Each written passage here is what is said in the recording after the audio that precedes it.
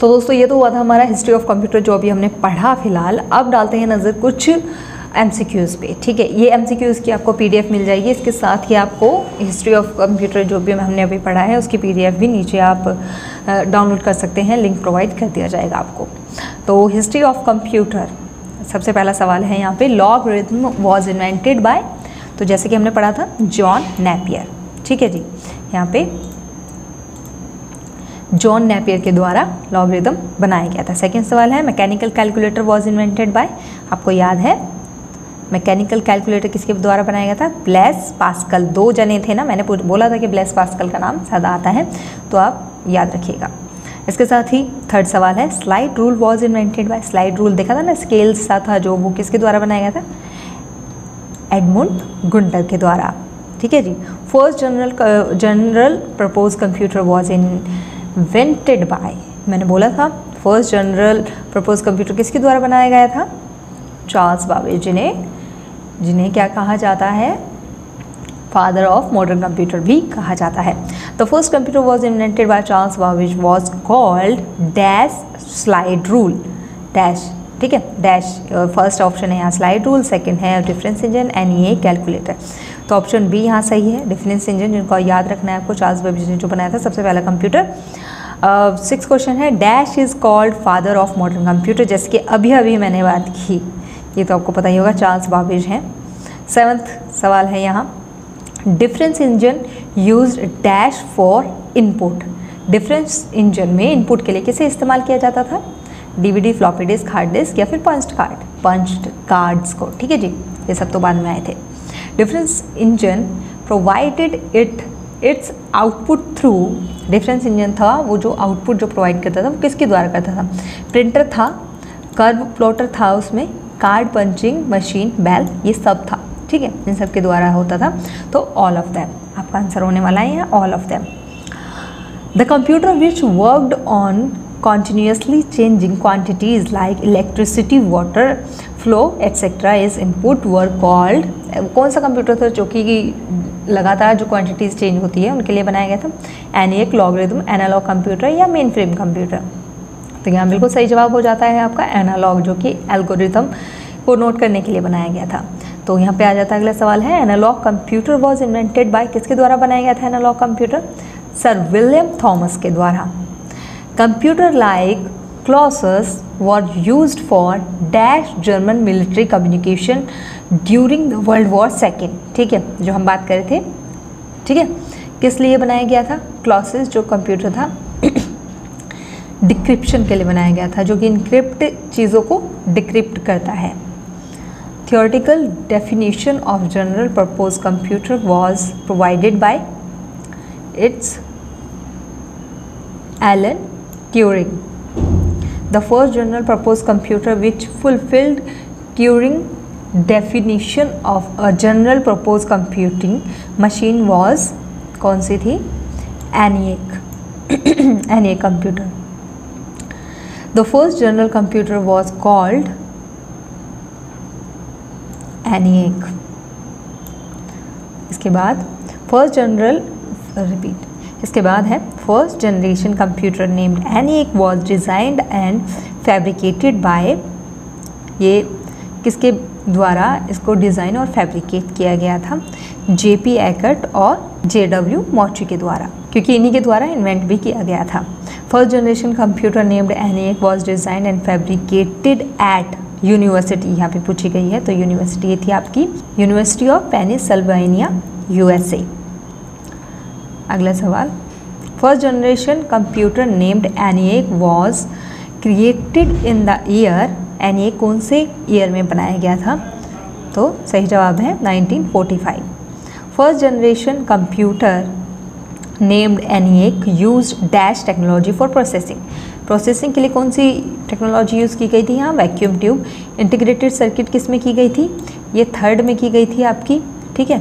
Transistor second में की गई थी और ये फोर्थ में, और U L S I fifth में। First generation computer named ENIAC use more than dash kilo watt of electricity power. ENIAC के बारे में ही सवाल है तो 200 किलो वॉट से ज़्यादा, ठीक है जी? First generation computer named ENIAC use dash for input. Input के लिए क्या ये इस्तेमाल किया जाता था? Punch card paper tape, magnetic tape, इन सभी का इस्तेमाल किया जाता था। First generation computer named ENIAC use dash for output output के लिए किसका? आउटपुट के लिए भी इन सभी चीज़ों का इस्तेमाल होता था। Dash language was use to program first generation computer named ENIAC कौन सी लैंग्वेज के द्वारा बनाया गया था? Machine language C C plus plus आई थी आपकी थर्ड में और Java C C plus plus fourth में आई थी। जावा वगैरह आपकी फिफ्थ में आई थी। ठीक है? तो यहाँ पे अगले सवाल की तरफ़ चलते हैं। अगला सवाल है second generation computer was created in the year second generation computer कब बनाया गया था? 1959 में। Second generation computer use technology use dash technology for processing data तो सेकेंड जनरेशन की जो डाटा प्रोसेसिंग की जो टेक्नोलॉजी इस्तेमाल की गई थी, वो थी ट्रांजिस्टर ठीक है आईसी जो थी आपकी वो थर्ड की थी वैक्यूम ट्यूब फ़र्स्ट की और ये फिफ्थ की। आई second generation computer use dash for main memory main memory के लिए किस चीज़ का इस्तेमाल किया गया था? मैग्नेटिक कोर का, ठीक है जी? इसके साथ ही second generation computer use dash for input input के लिए किसका इस्तेमाल किया गया था? सेकेंड जनरेशन कंप्यूटर्स में मैग्नेटिक डिस्क मैग्नेटिक टेप या फिर बॉथ या फिर दोनों ही नहीं। इन दोनों का ही इस्तेमाल किया गया था सेकेंड जनरेशन कंप्यूटर्स में किसके लिए? इनपुट के लिए।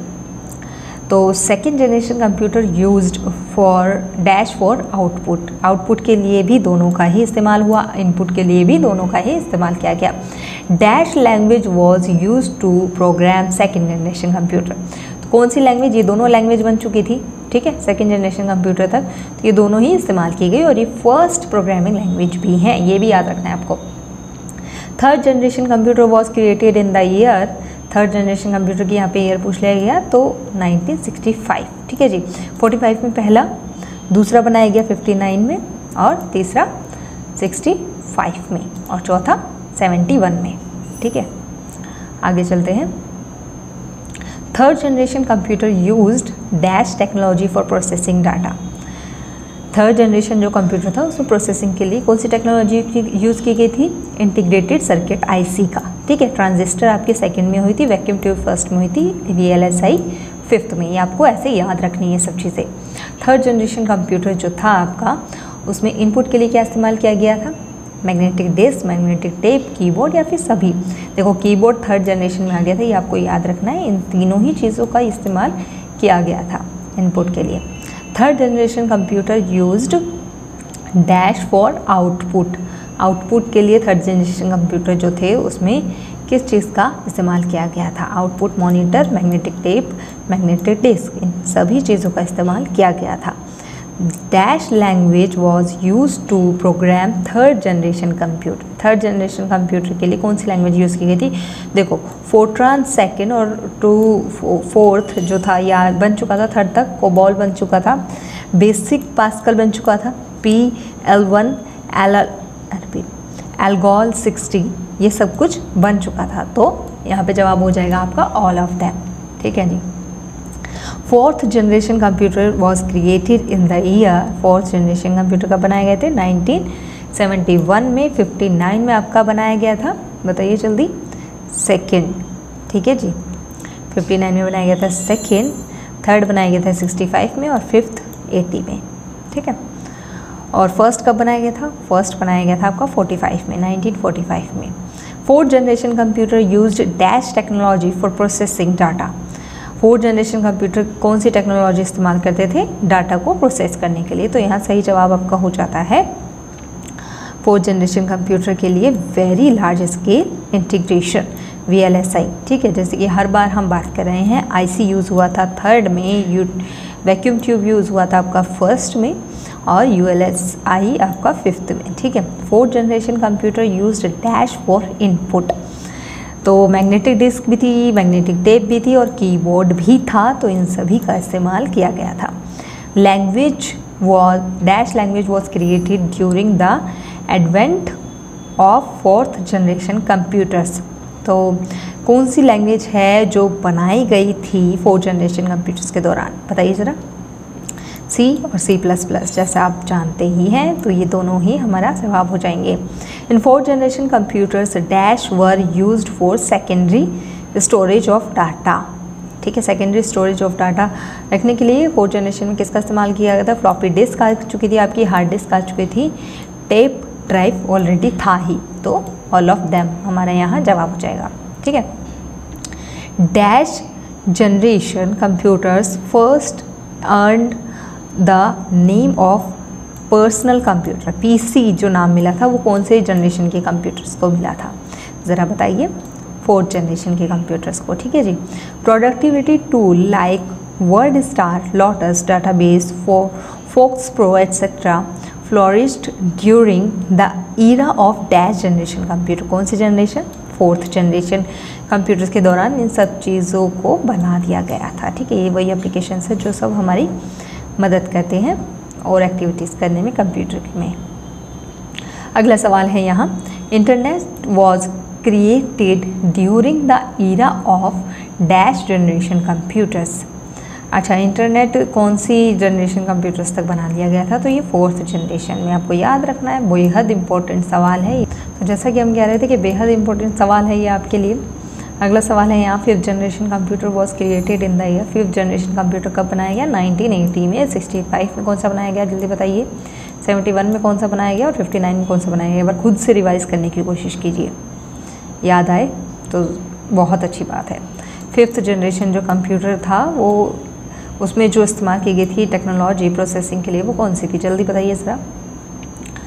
कई बार बताया है आपको।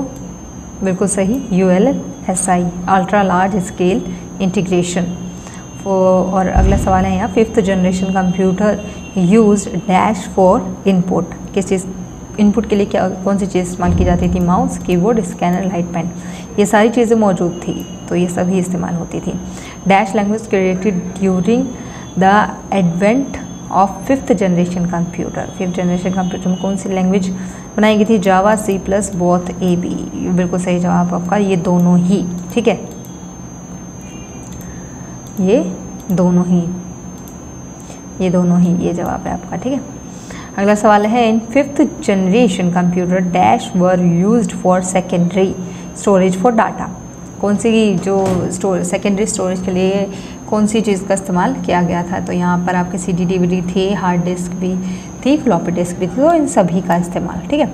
Several new forms of personal computer viz dot laptop notebook ultrabook tablet P C smartphone Chromebook Raspberry Pi were created during the era of fifth generation computer ठीक है जी? जैसा कि हमने पढ़ा। तो दोस्तों, ये हमने 47 सवाल अभी आपके कंप्लीट करे हैं। तो दोस्तों, ये थी हमारी आज की वीडियो जिसमें हमने पहले चैप्टर का पहला पॉइंट हिस्ट्री ऑफ़ कंप्यूटर्स के बारे में पढ़ा। अगला चैप्टर होने वाला है टाइप्स ऑफ़ कंप्यूटर ये वीडियो आपको कैसी लगी, नीचे मुझे कमेंट बॉक्स में कमेंट करके बताइए। इसके साथ ही कोई सजेशन है तो वो भी आप नीचे मुझे कमेंट बॉक्स में लिख बता सकते हैं। अगर कोई चीज़ आपको समझ नहीं आई तो वो भी आप नीचे कमेंट बॉक्स में ज़रूर लिखिएगा और मेरे को मोटिवेशन के लिए प्लीज़ वीडियो को लाइक ज़रूर कीजिएगा और चैनल को सब्सक्राइब कीजिएगा। और इसी तरह से आगे कंप्यूटर्स के और रिलेटेड टॉपिक्स को पढ़ने के लिए चैनल को सब्सक्राइब ज़रूर कीजिए। धन्यवाद।